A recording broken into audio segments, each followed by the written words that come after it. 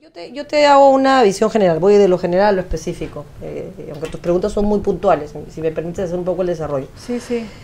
Yo creo que las muertes de estas 15 personas y los heridos, en general la violencia que se utiliza entre comillas para la represión, porque no es para, no es para solucionar el conflicto, ojo, No, no. ojo, eh, que, que eso es un tema que hay que mencionar, eh, para imponer la autoridad, una autoridad que se va perdiendo en el camino, eh, no es nueva, no es responsabilidad exclusiva de Ollanta. Esto tiene 15 No, no, años. no, por supuesto. 15 En- años. En, en la época de Alan García habían picos de noventa y tantos personas. Y es una cosa que tenemos que aprender a enfrentar. O sea, yo creo que hay dos problemas. Uno, que no estamos solucionando los conflictos sociales y eso está generando que quienes sienten que necesitan ser escuchados por el Estado, que es casi todo el Perú, pero en fin, las zonas ya más graves, digamos, estos conflictos identificados, tocan la puerta una vez, tocan la puerta dos veces, se les hace un acuerdo, se firma, uno, dos, cuatro, cinco, ya se les tranquiliza, no pasa nada.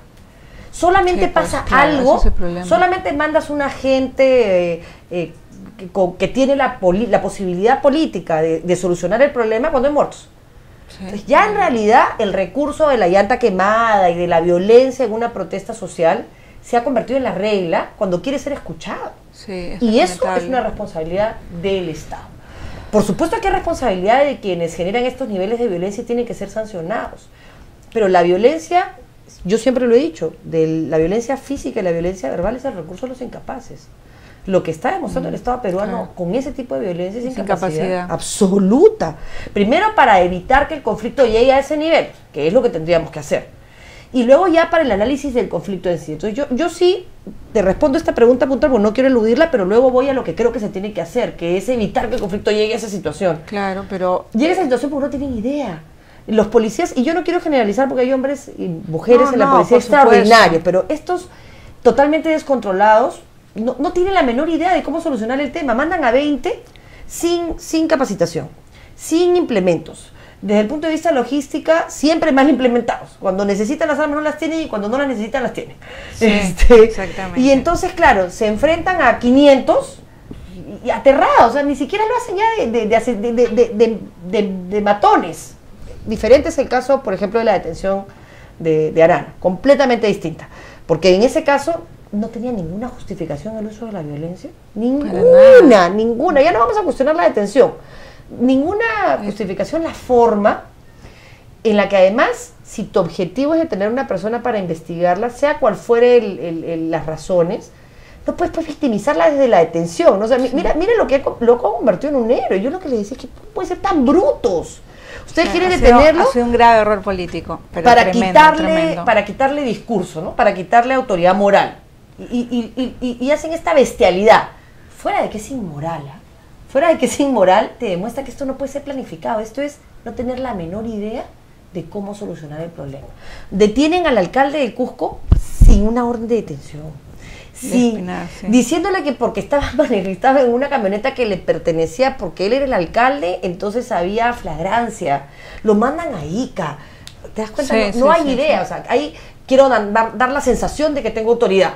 Pero, pero yo creo que sí había, digamos, una idea detrás, ¿ah? Y yo creo que esa idea detrás que ha, digamos, articulado este esta serie de acciones completamente absurdas está vinculada con un tema de pensar en, en una conspiración, que es, digamos, la propuesta de, de- de Víctor Caballero de- en, en la oficina de conflictos. a mí me parece una gran cosa que Jiménez Mayor lo primero que ella ha dicho es que no. Esto se va a cambiar. Eso- eso es cambia, primera- reingeniería. Eso es una primera solución.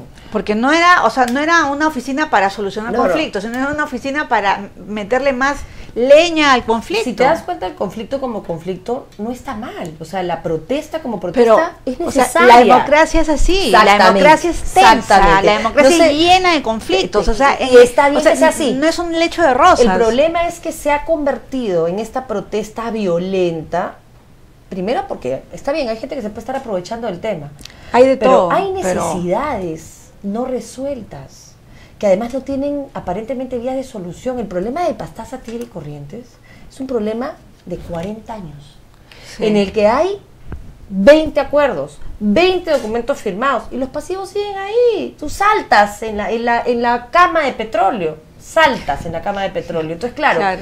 tú le dices a los indígenas, ahí no hay, ahí no hay ningún líder político que, que quiera, ningún APU que quiera hacer nada.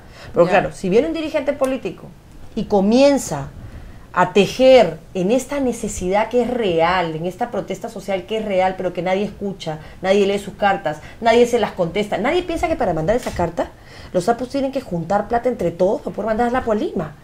Claro, Entonces, claro, claro. si nadie lo recibe, alguien llega, canaliza eso y puede pensar en usarlo como una plataforma política. A mí eso no me interesa.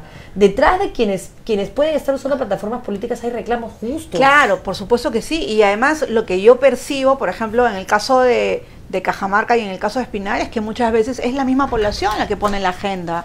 ¿Tú O sea, no es que- va el, el, digamos, una conspiración y va armando, no, sino que es la misma población que sale, o sea, los propios campesinos, la gente no es idiota, eso es lo que yo... eh, No hay que subestimarlos. siempre, eh, No hay que eh, subestimarnos como país. Exactamente, o sea, nosotros sabemos perfectamente, uno de, los, de, de las poblaciones más politizadas en América Latina es la peruana. Sí, claro.